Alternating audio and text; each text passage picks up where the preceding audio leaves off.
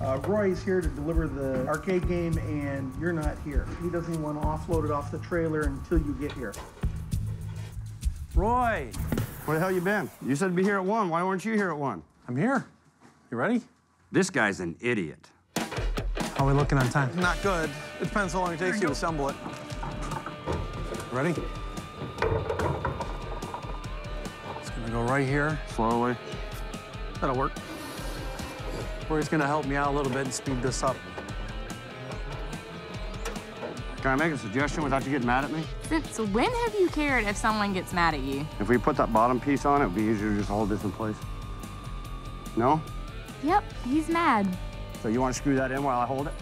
I think I can handle this side. I think you need to be down here to hold it up. You know, Roy, I think I changed my mind. I'm gonna, I'm gonna do this by myself. All right, because I'm so good at it making you look bad? Uh, no. If this thing's not ready in time, it's on him, not me.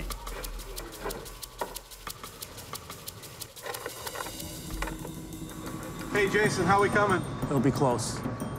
We're coming right down to the wire here. Roy, can you give me a hand? Now he wants my help?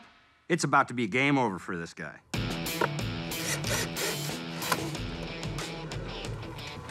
Hey, guys, I'm getting concerned. Once I put this last nut on, I'm done. We're just gonna make it. If you'd have gotten here on time, this wouldn't be an issue. Are we all ready? Yeah. Let's take a look.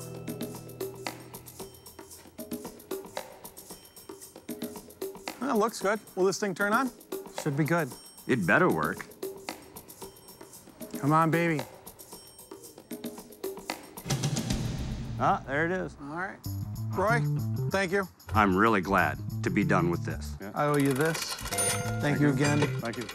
All right, guys, let the games begin.